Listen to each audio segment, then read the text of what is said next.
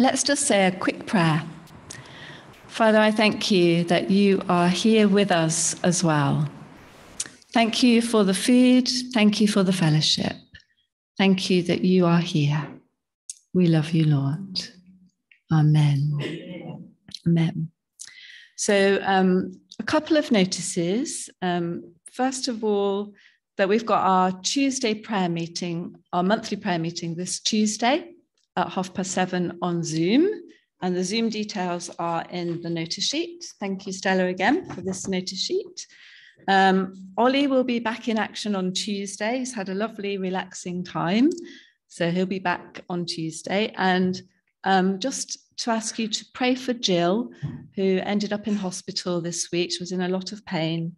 Um, she had an operation, so she's recovering from that. Um, so keep her in your prayers. I'm hoping to go and visit her this afternoon and we'll keep you updated. Okay. So, yeah, pray for Jill. Okay. Um, Natasha's going to do our short talk this morning. So, I'm going to get her to come up.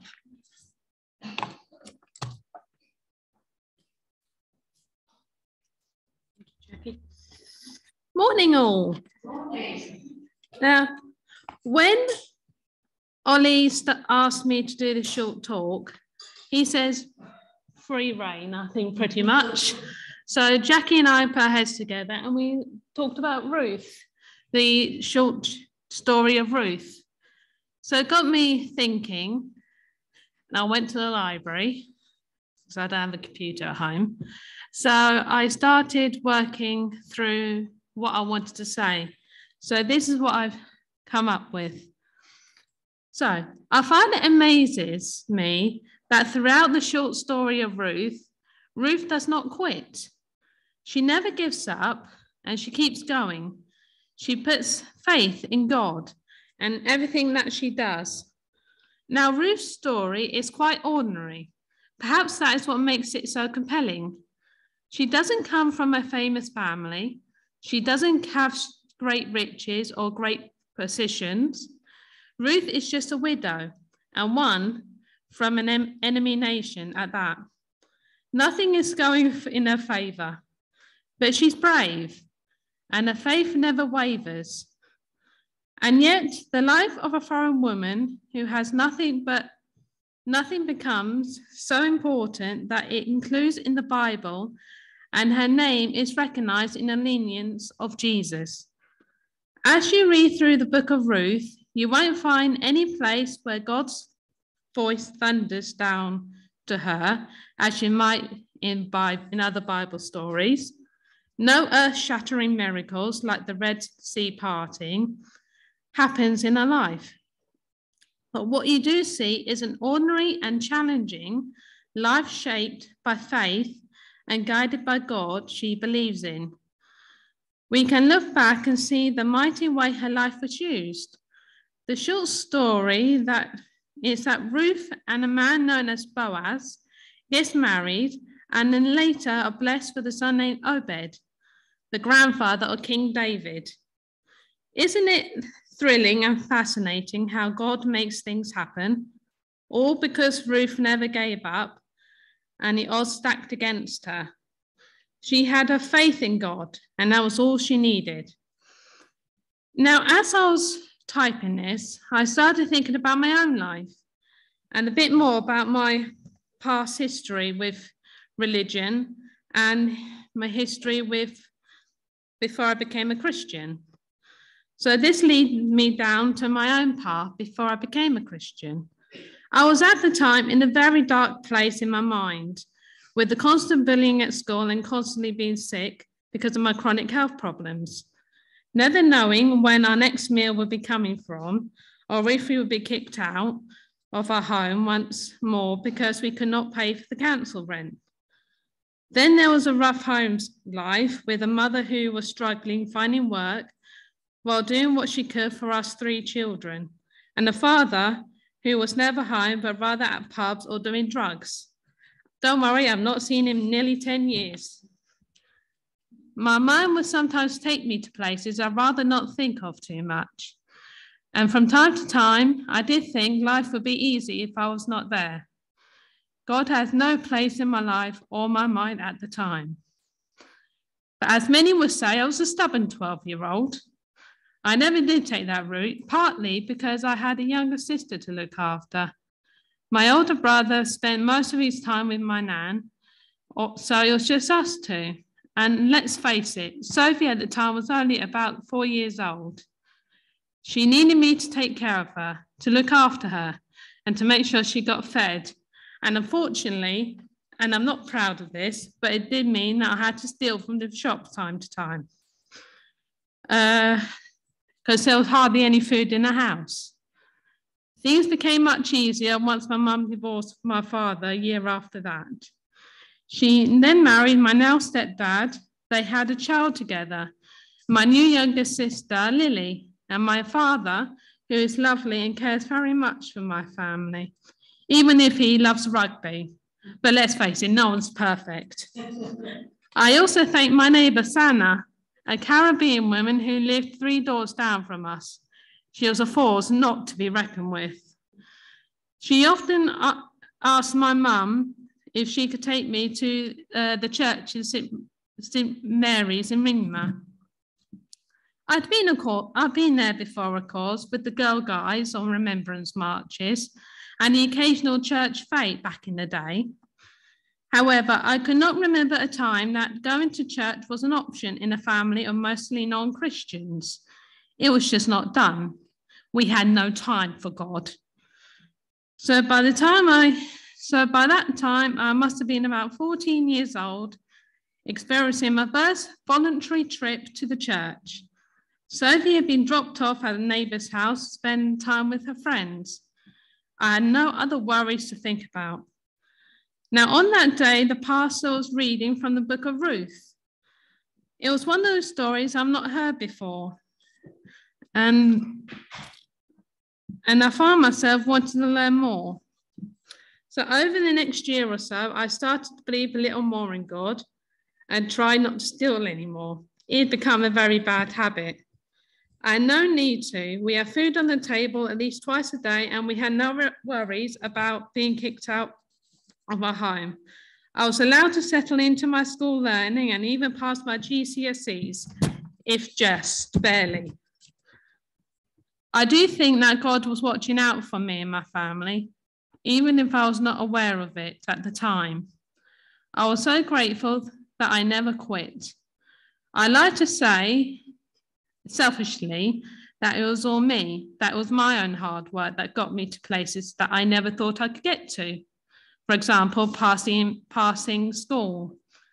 I used to like the, the song I Did It My Own Way by Frank Sinatra, but the older I got, the more I started to dislike the song.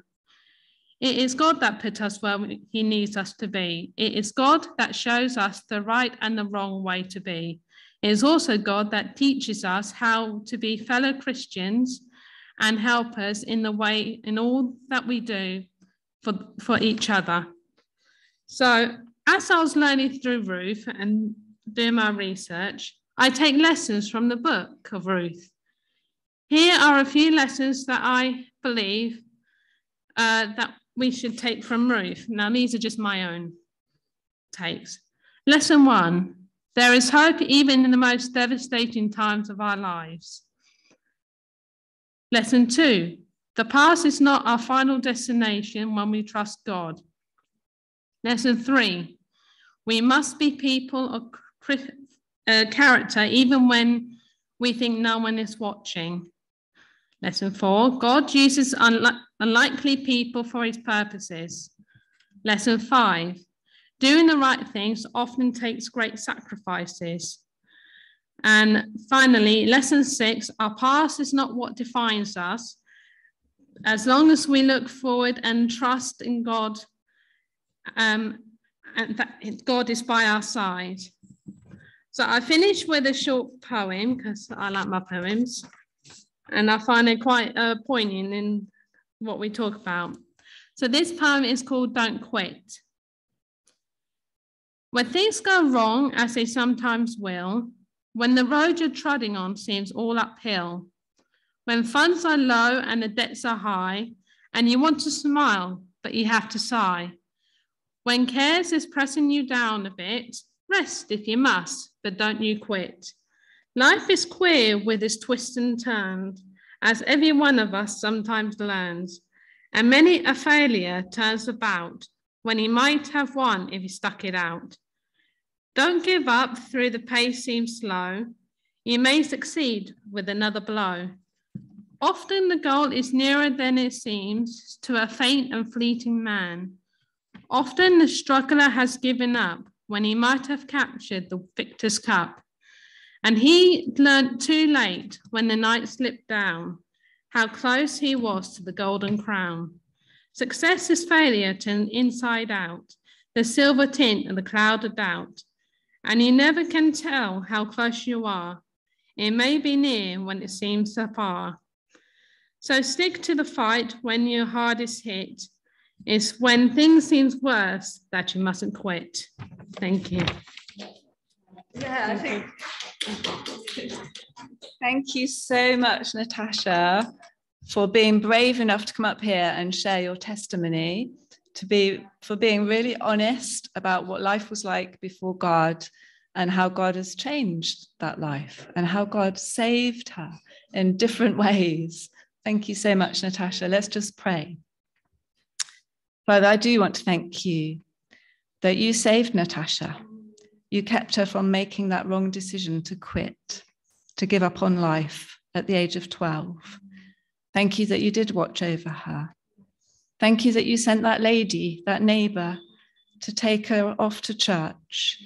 Thank you that you brought Natasha into the church family, that you took her into your kingdom and that you've been teaching her and encouraging her ever since.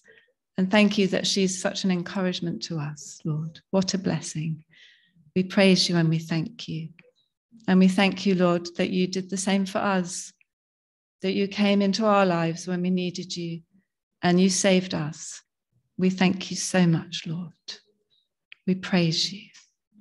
Amen. Um, I'd like you to just have a little chat around the table with your friends on your table about what stops you from giving up or who?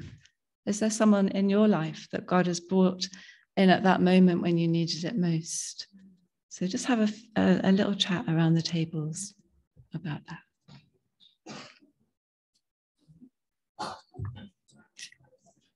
It's so good to hear some stories. I'm sure you've been sharing stories with each other of how you didn't give up, how someone supported you, or by surprise provided just what you needed at that moment. And it's so good, isn't it, to feel that God is watching over us and caring for us in that way.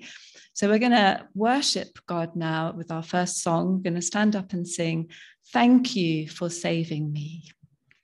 Please stand or sit, whichever you prefer.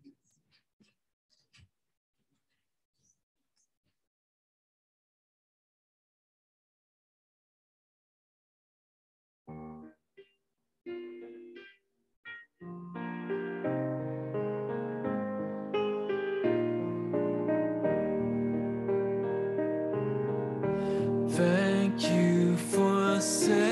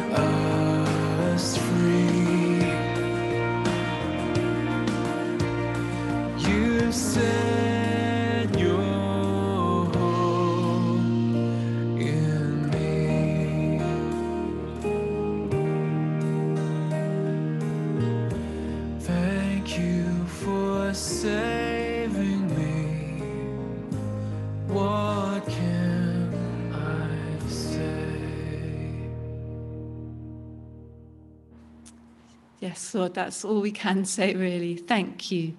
And it's not enough, but we do thank you for your grace and your mercy, your forgiveness, your love, and the fact that you have given us hope. And even when things are tough, you are there, Lord, and you care about us. We thank you, Lord. In Jesus' name, amen. Amen. So we're going to tidy the tables a little bit, just the plates. Keep your cups and do top up your coffee as well. I've got some time to do that.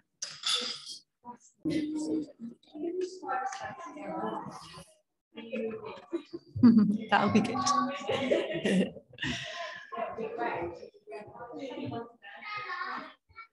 okay. So if you want to settle back down to your tables and Good to see you, Paul. You're right.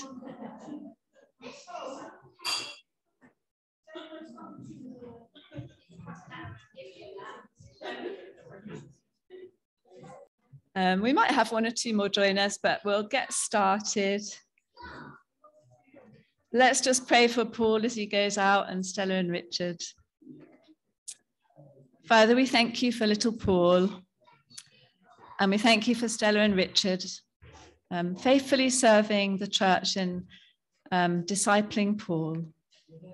Pray that you'll bless him today and help him to learn a little bit more about your love for him. And we thank you, Lord. We pray that you'll, yeah, grow him up into a man of God for you. In Jesus' name, amen. Okay. So um, I don't know if there's anyone here that missed the earlier notices. Um, just to say we've got a prayer meeting on Zoom at 7.30 on Tuesday, our monthly prayer meeting.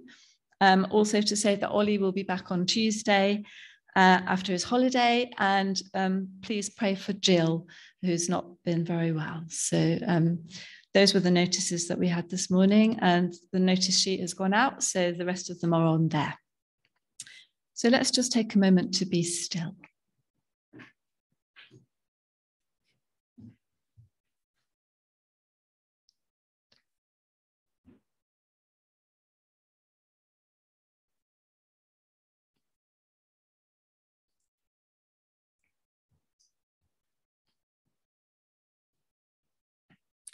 Lord, you are trustworthy in all that you promise and faithful in all that you do. You uphold all who fall, and you lift up all who are bowed down. You are near to all who call on you. You hear our cry and save us. We thank you with all of our heart, Lord. Amen. Praise be to the Lord, for he has heard my cry for mercy. The Lord is my strength and my shield. My heart trusts in him, and he helps me. My heart leaps for joy, and with my song, I praise him. And that's what we're going to do now. We're going to praise and worship him with two songs, one after another. So, again, feel free to sit or stand, and let's just really worship God for a few minutes. Thank you, Tim.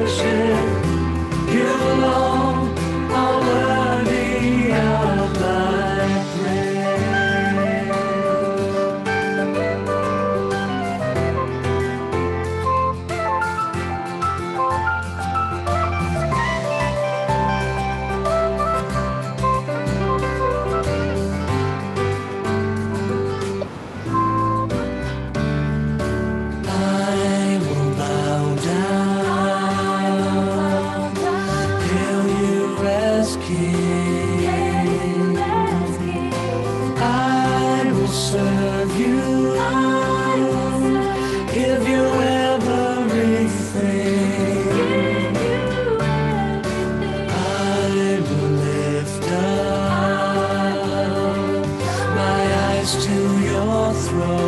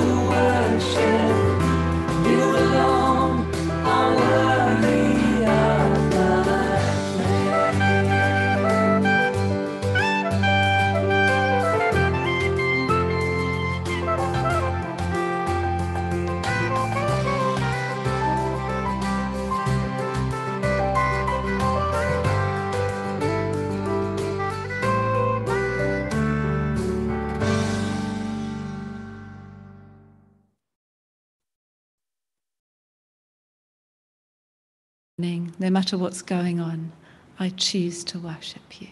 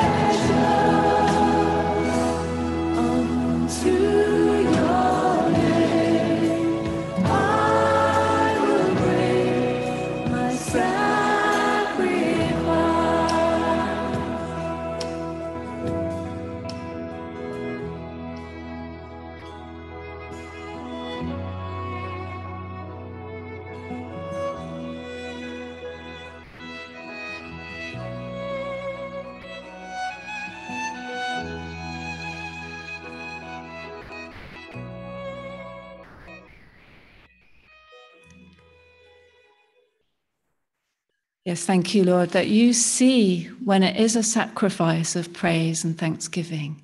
You see when it's difficult. You know what's going on in our lives and in our hearts. You see when we choose to love you and worship you anyway. Lord, thank you for giving us the strength and the hope in you. We bless you, Lord. Amen. Amen. Please sit down. So, Pauline's going to come up and do our reading for us.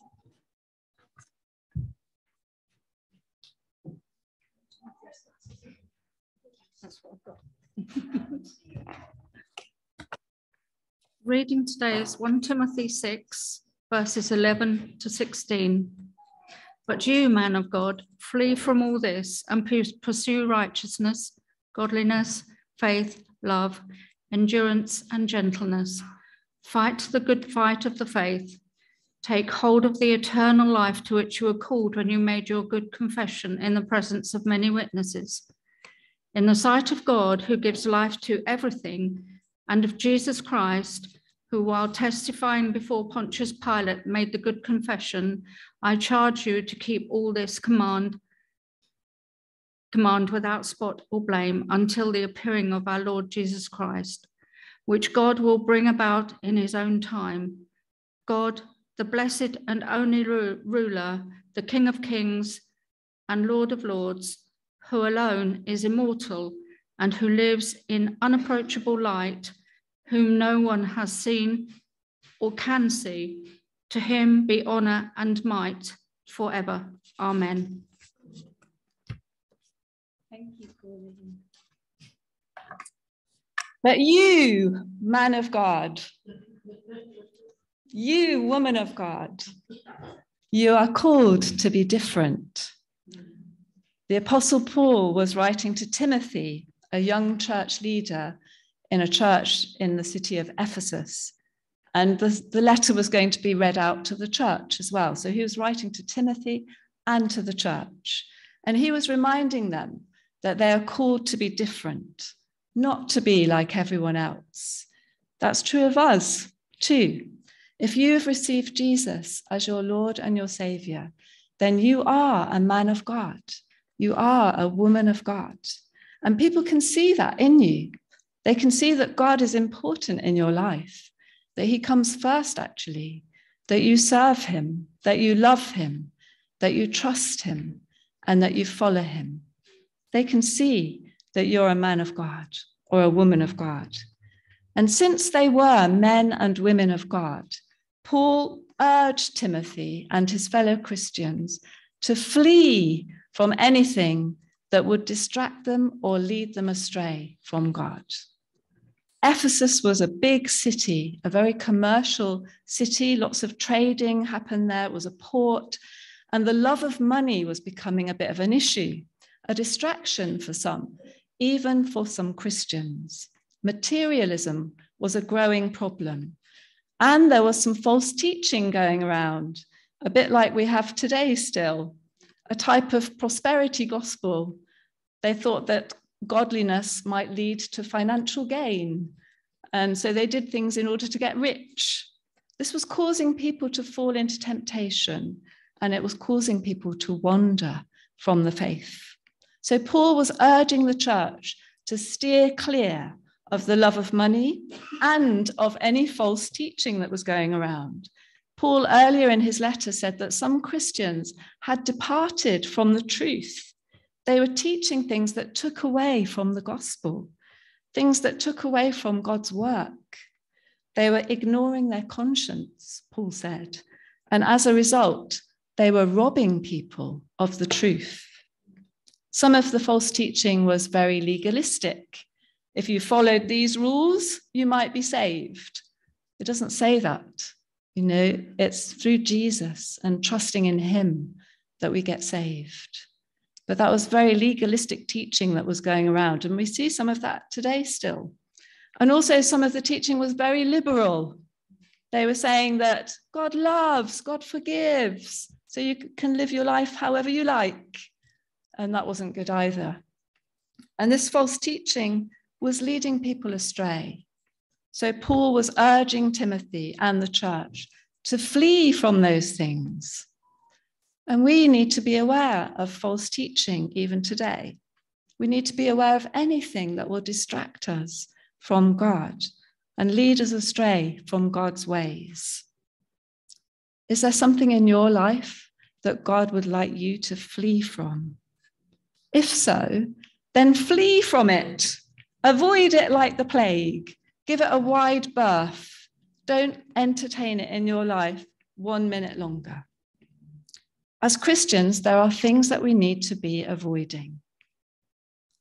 But that's not what Christianity is about only, because Christian, Christianity is often seen to be something where we all have to make sure we don't do things. You don't do this and you don't do that, and you shouldn't do this and you shouldn't do that. People in the world think that's what Christianity is about. But actually, Christianity is the pursuit of excellence. It's the pursuit of everything that is good and right and pure and beautiful. That's what it is. And that's what Timothy, uh, Paul urges Timothy to go on and do. Pursue those things. Pursue righteousness, he says. And righteousness is beautiful. It means that you are in a right relationship with God. There isn't anything better in the world than that. It's beautiful. And that then has an effect on our other relationships. Jesus said that if you hunger and thirst for righteousness, you will be filled. And we know as Christians that the only way that we can be in a right relationship with God is through faith in Jesus and what he did on the cross for us. Have you put your trust in Jesus? Jesus said, if it says in the Bible, if you seek me with all your heart, you will find me. If you haven't found Jesus yet, then start seeking him. He's promising you that you will find him. Do it today. Don't wait. Pursue righteousness. And if you have discovered Jesus and you've put your trust in him, then you will have a new desire inside of you to pursue godliness, a desire to be like God. Has anyone ever said to you, You're like God? That's what the goal is. You're becoming more and more like God in his character. Jesus showed us what God is like. He said, If you've seen me, you've seen the Father. And how was Jesus? He was full of compassion. He was self sacrificing. He was forgiving, merciful, pure, and holy, good, full of grace, but also full of truth. Are you like that? Is there room for improvement? I know there is here. But if that's the case, then go for it. Do everything you can to move forwards in that. Cry out to God and ask Him to change your heart and make you more like Him. Pursue godliness so that people can see what God is like through you. And pursue faith. Faith comes from hearing the word. So we read the Bible, we take time to listen to God, we come to church, we attend Bible study, take part in fellowship so that we can encourage each other's faith. Step out in faith and watch God act in response. That will grow your faith. Chase faith. And we pursue love. We choose to love people like Jesus did, in spite of what they're like, no matter how they treat us, even if they're our enemies. That's not easy, is it? But we do it anyway. We choose to do it anyway. You can't do that on your own. You can't do that with your love because your love's a bit small and God's love is so much bigger. So we need to spend more time in God's presence and soak up his love for us so that it overflows into the lives of those around us. That's how you show God's love to people. And we pursue endurance. We're determined not to give up. Natasha spoke about that earlier no matter how hard things get. And you know, things are getting harder, aren't they, around us? What with COVID, the economy, war, climate change. It's getting more difficult to be a Christian nowadays and be outspoken about it. It's going to get a bit harder, I think. but we're determined to keep trusting, to keep believing, to keep praising God anyway, determined to keep going, and we don't let anything stop us. And we pursue gentleness. Paul mentions gentleness. We're self controlled enough to bite our tongue when we want to lash out, to keep our anger and our frustration in check. We're determined to have the patience of a saint, no matter how much someone has irritated us. We decide that with God's help, we're going to excel in that area. None of this is easy, is it? You're looking at me thinking, really, Jackie? it takes courage and determination. It's a struggle, it's a spiritual battle. In fact, it's an all out war. It's not just a military operation, it is definitely a war. We're contending not only with our own selfish nature and our wrong desires, but also with the wrong influences of the world around us and against the enemy of our souls, the devil. It's a battle. So Paul tells Timothy and his church to fight, to fight the good fight of the faith. That was Paul's rallying cry to the Christians in Ephesus, and it's his rallying cry to us too. Are you ready for a battle? Are you ready to be on the offensive and fight against those things in you that you know shouldn't be there, those wrong attitudes, that wrong behavior, those bad habits, those wrong beliefs? Are you ready to pursue righteousness and goodness with all your heart and strength? Sometimes the thing that we have to battle with the most is our own apathy when we can't be bothered to go to church, or we can't be bothered to pray today, or we can't be bothered to read our Bible. Apathy is one of our biggest enemies. Or we might have to battle with discouragement. I'm sure all of you at some point have been discouraged. I remember my most discouraged moment, I think, was back in 2016 when my dad died, my husband lost his job, and my son had a breakdown all in the same week. And I was like, how can you do that to me, God? You know, that one of those would have been enough. And I was extremely discouraged in my faith. But I remember, I don't know how I found the strength, except it must have been God, to walk around my living room and pray and sing. And I had a, a song that I call my fight song. Um, it was by someone called Natalie Grant. And I don't know if I'm going to sing it, but I might tell you the words. I'll see if I've got the courage to sing it. It says, I won't let my fear resound chaos, you won't drown me out. Even the downpour is going to hear my soul roar. Beyond what I can see ahead, beyond what hasn't happened yet, even the raging storm is going to know my voice. On and on and on and on, nothing's going to steal my song. On and on and on and on, I will bring you symphonies, symphonies over and over with every breath I breathe, symphonies, symphonies, over and over with every single heartbeat. When I can't find the words to say, teach my heart your melody. Sing my soul, sing my soul, sing my soul, sing my soul. When I can't take another step, breathe in me another breath, and I will bring you symphonies. I remember marching around my living room, singing that, determined not to give up. Determined. Have you got that kind of determination? Can you find that? Ask God to give it to you. When things haven't gone the way we hoped, when our prayers haven't been answered, or when we've been hurt by a fellow Christian or let down by the church in some way, that's when we need to be really honest and pour our heart out to God and ask Him for help to forgive, to move on, and to choose to worship Him anyway. Be determined to do that. That's what I want to advise you because that's what I had to do, and He brought me through. And are you ready to defend the faith? To preserve the sound doctrines that have been entrusted to us so that we can pass them on to others? Paul charges Timothy to keep teaching truth. He charges him in the sight of the living God and of Jesus Christ, the Lord of all, as witnesses.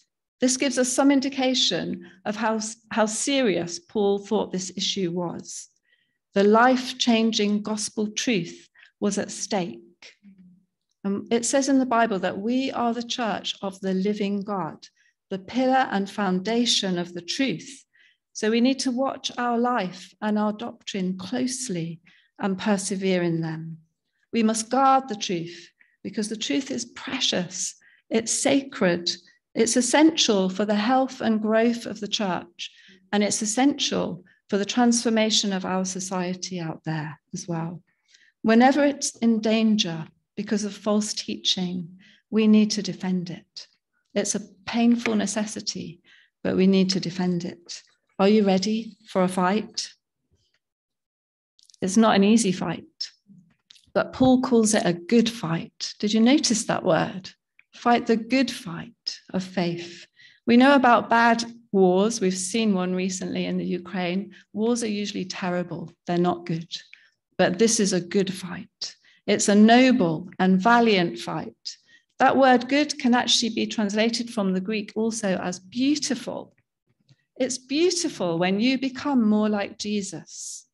I've been um, have I've had the privilege of having Vera from the Ukraine staying with us, and I've seen how God has been at work in her life and how she's chosen to change her attitude towards some things because God has been working in her heart and she's been cooperating. And it's been absolutely beautiful to watch. You know, it's one of the biggest privileges of being a pastor is to see God at work in people's hearts. It's beautiful when the gospel changes hearts and when the gospel restores families and also rebuilds communities, bringing justice, hope, and freedom. It's beautiful. And that word fight can also mean to contend or struggle like an athlete who is determined to win the prize. You know, athletes are disciplined. Some of you might have been watching Wimbledon. They didn't just turn up on centre court, they did a lot of practice before that. And they underwent some rigorous training, perhaps. Ollie, my husband, has been going down to the gym since January. You'll be impressed. He's been doing it every week, three times a week. There have been times when he hasn't felt like going, and it's taken some determination, but he's done it. If you want to see the results, you have to stick at it. So let's be determined to win the prize. And you know, that prize is Jesus. That prize is knowing the living God. That prize is eternal life. And eternal life doesn't just mean heaven, does it? It means the life of God in your life now. That's the prize. Paul urges Timothy and his church to take hold of the eternal life to which they were called when they made their good confession in the presence of many witnesses. God had called Timothy, he'd drafted him into this battle, but Timothy wasn't dragged in um, unhappily, he volunteered. He responded to the call of God, confessing his faith in front of lots of witnesses when he got baptized. He also gave a good confession when he was ordained into ministry. And he gave a good confession each time he was opposed by false teachers. And he gave a good confession every time he was asked to explain the hope that he had by non believers. And as Christians, we are called to do that too, aren't we? And it's interesting that in this passage, Paul mentions how Jesus did it when he stood before Pilate, that hostile, unbelieving Roman governor. When Pilate asked him whether he was the king of the Jews, Jesus declared that he was born a king and that he had an eternal kingdom, a kingdom that was not of this world. For this cause I was born, Jesus said, and for this cause I have come into the world that I should bear witness to the truth.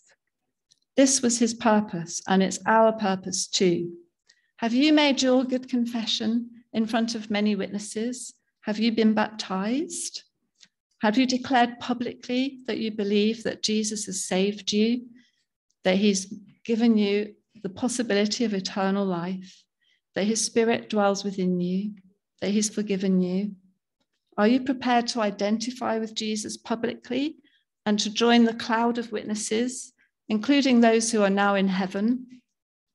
There are witnesses as well. Just up there on the hill, we've got the Martyrs Mem- Memorial to the 17, I think it was, Christians in Lewes who stood against false doctrines, who proclaimed the truth of the gospel, and who lost their life because of that. They gave their life for the faith, and they are even now in God's eternal kingdom, and they are our witnesses as we take up the mantle. We are called to take hold of eternal life, to know the living God. God has given us everything we need for life and godliness. It says that in the Bible. You have everything you need to be godlike, to show people what God is like. We just need to take hold of it and be, be determined to lay hold of all that God has given to you in Christ. It's a battle, but it's worth it. But maybe you are feeling a bit battle weary this morning. Perhaps you haven't got much fight left. Perhaps you feel like throwing in the towel, actually. I've read um, The Lord of the Rings again recently. It's quite a long read. Um, but the hero, Frodo, reaches a point of despair and he wearily confides in his friend Sam. I can't do this, Sam, he says. As a good friend, Sam gives a rousing speech. It's like in the great stories, he says, full of darkness and danger they were. Folk in those stories had lots of chances of turning back, only they didn't. They kept going because they were holding on to something. And this prompts Frodo to ask, What are we holding on to, Sam? And it's a good question to ask ourselves, isn't it? What are you holding on to? What's keeping you going in life's battles? Let's hold on to the fact that good will triumph over evil in the end, that one day we will see Jesus face to face. We will be with him in his eternal kingdom, and we will reign with him forever. It says that in the Bible. It's true. And in the meantime, let's flee from all that would distract us and lead us astray from him. Let's pursue goodness and righteousness. Let's contend for the truth and guard it until Jesus comes again. Let's take hold of the life that is truly life, not the empty things of the world. And let's fight the good fight of the faith together. And Paul reminds us, doesn't he, that we have the living God on our side, the source of all life, the eternal, glorious, immortal one. And we have the Holy Spirit to guide us and help us. And we have Jesus, who fought the ultimate fight. He fought against temptation every day of his life. It says in the Bible that he was tempted in the same way as us, and yet he did not sin. He waged war against sin, and we waged war against the devil by dying on the cross for us. And he defeated death forever when he rose to life again. He is our risen and victorious King. So let's respond to his call, offer him our lives again, and seek his help to go on fighting the fight of faith, the good fight, so that we can glorify him and show others what God is really like. To him be all the honor and all the might and all the glory. Amen. Amen. I'm going to lead us in a, a time of prayer to respond to that and also to pray for um, other people. So let's just pray.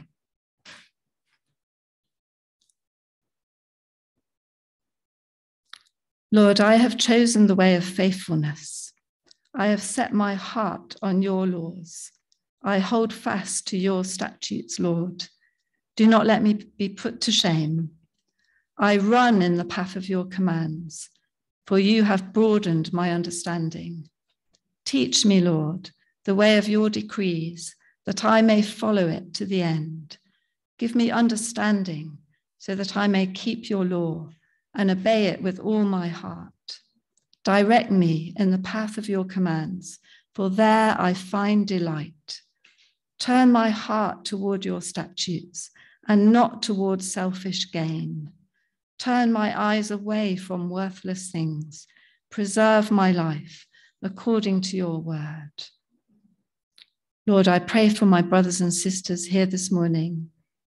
I pray that you would strengthen them in the inner man with might by the power of your Spirit.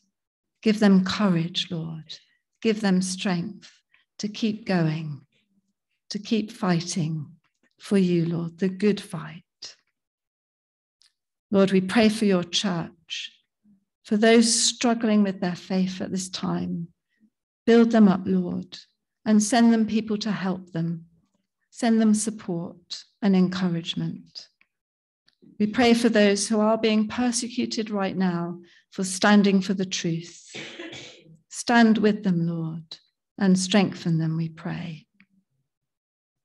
And Lord, we pray for our church here at Eastgate. Help us to show people what God is really like. And Lord, we pray for those amongst us who are sick at the moment. We especially pray for Jill. We lift her to you, Father, and we ask you to be very close to her today. We ask for your healing touch and for your deep peace.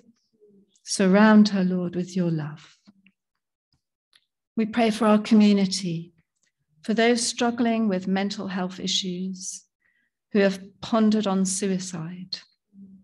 Natasha spoke about that earlier, Lord, and you see them, you know them. Help us, Lord, to reach out to them all those who are going through a difficult time, who can't feed their families, who don't know when their next meal will be. We pray for them, Lord. Help us to love them, to serve them, and to show them what God is like. We pray for our families, our friends, and our neighbors, those who don't know Jesus and don't have that hope that we have. Help us to be faithful, Lord, in sharing that hope. We pray for the world. Lord, we remember especially the Ukraine, Nigeria. We lift them to you, Lord. We ask you to have mercy on those countries. Lord, we ask that your word would go out and bring light and life in those places. Lord, have mercy, we pray. Strengthen our faith in you Help us to fight the good fight of faith and take hold of the eternal life to which we are called. Lord, may your will be done and your kingdom come on earth as it is in heaven. Gird your sword on your side, you mighty one. Clothe yourself with splendor and majesty. In your majesty, ride forth victoriously in the cause of truth, humility, and justice. Let your right hand achieve awesome deeds. Thank you, Jesus, that you fought on our behalf. You have defeated sin and death, and you have won eternal life for us. We praise you, Lord, our Savior. Hallelujah. Amen. So let's declare our faith as we sing our final song together forever. Thank you, Timothy.